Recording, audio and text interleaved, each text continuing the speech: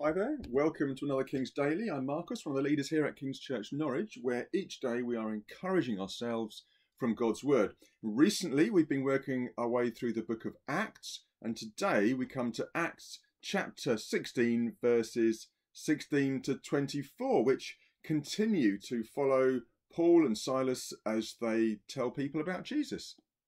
So let's have a read. Uh, Acts chapter 16, verses 16 24. As we were going to the place of prayer, we were met by a slave girl who had a spirit of divination and brought her owners much gain by fortune telling. She followed Paul and us, crying out, These men are servants of the Most High God, who proclaim to you the way of salvation. And this she kept doing for many days. Paul, having become greatly annoyed, turned and said to the Spirit, I command you in the name of Jesus Christ, come out of her. And it came out that very hour. But when her owners saw that their hope of gain was gone, they seized Paul and Silas and dragged them into the marketplace before the rulers. And when they had brought them to the magistrates, they said, These men are Jews, and they are disturbing our city they advocate customs that are not lawful for us as Romans to accept or practice. The crowd joined in attacking them, and the magistrates tore the garments off them and gave orders to beat them with rods. And when they had inflicted many blows upon them, they threw them into prison, ordering the jailer to keep them safely. Having received this order, he put them into the inner prison and fastened their feet in the stocks so far, Paul and uh, the Christians, and uh, as they've shared the gospel, they have mainly uh, encountered hostility and persecution from their fellow Jews, or at least influential Jews who had an outward form of religion but no inward living relationship with God.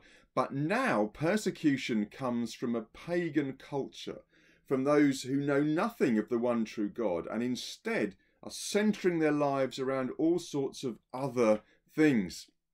Now, in thinking about this account, my attention was initially focused on the slave girl and the evil spirit, but then something else popped out from this passage, as it so often does when you read the Bible. You're reading it and something, the Spirit highlights something to you.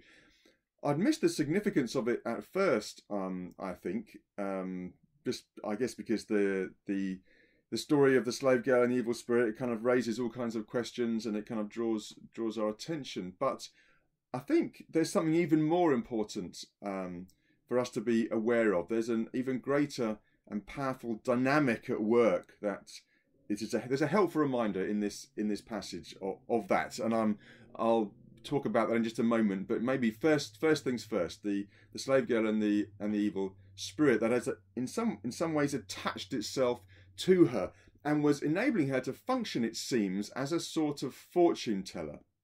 So through her, it was probably telling people details about their life, um, past, present, and future, and probably speaking into their life in some way. Its um, knowledge about the future would, of course, be fallible, but it seems plausible and correct enough to persuade people that some kind of supernatural revelation was taking place, which it was. But here's the thing her owners had made much gain from her abilities. People are paying a lot of money for these revelations and uh, so called insights. Why was that?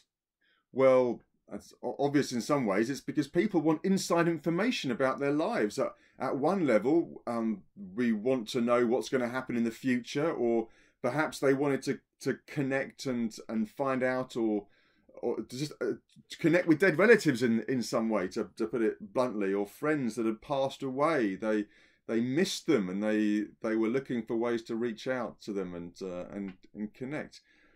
But at a deeper level maybe more broadly we want someone to tell us the story of our lives to speak into our life and make sense of it all to place our lives in a larger context or a framework, to tell us who we are and what we're doing. What does this all mean? these are understandable desires, and many people have them. They're powerful desires. And that's, in fact, why this girl was making so much money for her owners, and why this sort of thing is big business even today. But the slave girl's pronouncements and all similar practices today are actually a counterfeit of the real thing the thing we are reaching out for, the, the thing we long for, the thing we need to hear most of all, is God's voice, not the half truths and speculations and misdirections of, of a demon, but the words of our Heavenly Father speaking to us. His words are the ones that can bring true strength, encouragement, and comfort to us. Occult practices, they prey on a, a deep and in, in a sense, genuine need in us, but they ultimately lead us away from the truth and away from the light and away from life. By contrast, God's voice to us as He speaks to us and speaks into our lives and speaks about us, His voice turns the lights on, His voice reveals the truth to us, and, and His voice imparts life to us, everlasting life. Maybe you're seeking answers to some key questions about about your life. Well, in truth, we may not get all the answers just yet, but we do have many of the big pieces of the puzzle before us. Particularly, well, and especially, and and really only in in what God's word says to us. This is God's word to us through His word. He speaks to us and He says, "I formed you for a purpose, to reveal in your character and your words and your actions and your relationships something about what what I'm like, what God is like. This is what we're we're formed for. This is what we're created for. This is what we exist for. This is what God's word revealed to us. But more than that, God made us. He made you in order that we might reach out to him and come to know him and enter into an eternal loving relationship with him, knowing his love for us and expressing his love to those around us. This is wonderful news. This this begins to make sense of our life, or at least puts our life in a in a greater and true framework and context. But here's what we don't often want to hear. So you and me, all of us, have turned away from God and run after false gods and oriented our lives around th- things that aren't God at all, that didn't create us and that don't love us, and um, didn't certainly didn't bring us into being, and certainly can't define the meaning uh, of our lives. And we've thought and done things and said things that are that are evil, that are wrong, that are not in line with who God is and what our true purpose is. And these things they put a barrier between us and God. The Bible calls it sin. It separates us from God. It separates us from our true purpose, for the true meaning of our lives. But here is the wonderful truth that God speaks to us through the gospel, which Paul and Silas and others were, were, were, were telling people. They were, they were sharing with people the true way of salvation, the way to come to know God. This is the truth that God so loved us, so loved you, that in the person of his son Jesus, he died for you. And on the cross took all our sin and our wrongdoing and was punished in our place for us opening the way back to God, not through us being good enough or working hard enough or improving ourselves in some way, but through faith in Jesus, through trusting in what He has done for us, His life and death counting for us. And through faith in Jesus, we're not only forgiven and cleansed, but adopted as sons and daughters, brought close into God's family. And now God speaks to us as a father speaks to his children full of love, imparting truth and wisdom and purpose and meaning and security, all these things.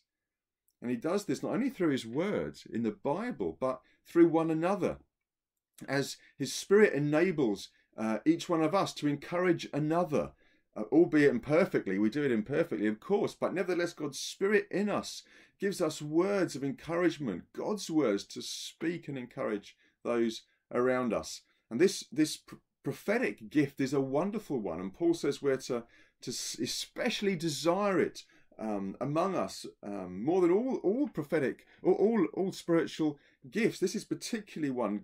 The voice of God amongst us, bringing in strengthening, encouraging, and comfort, is to be prized so much. So let's let's be open to God speaking to one another through through us as we gather, albeit on Zoom often these days. Let's earnestly seek this gift and ask God to speak encouragements to us that we can share with others.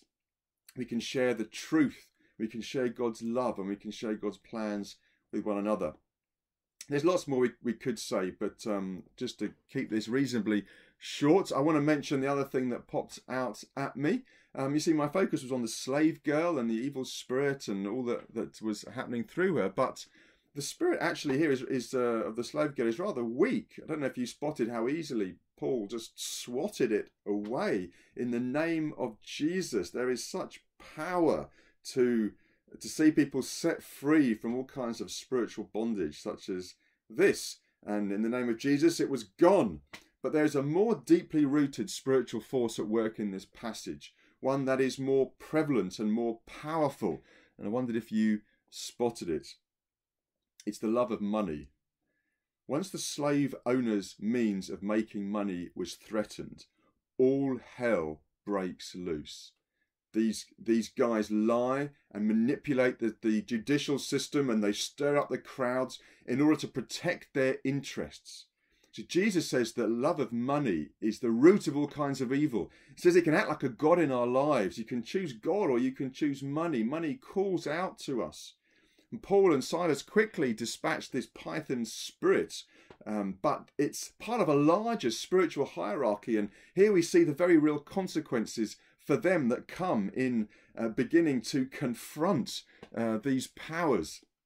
And uh, as we read on, though, um, spoiler alert, uh, God does release them from prison and is seen to be more powerful than any of these these things. But here we see the love of money in all its true anti-God, anti-gospel colours.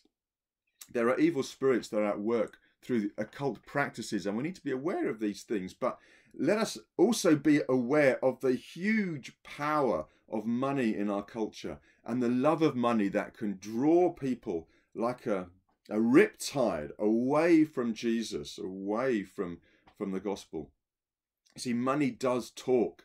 It speaks to us through the media, prophesying a false identity and a false future and a false gospel to us. It says we're defined by our bank balance. It says life is about acquiring as much money as possible. It says that happiness is found in the abundance of possessions. It tells us that our security is bound up in our savings and to protect our income at all costs. And so, with such a loud voice speaking to us, how much more do we need to hear and listen to God's voice to us, revealing and reminding us that life is about knowing Him? And receiving and sharing His love. And this we do through faith in Jesus, knowing God as our Heavenly Father, who provides for our needs and whose good plans for us give our lives true meaning and purpose. So may God bless you today as you live out of these wonderful truths. God bless you.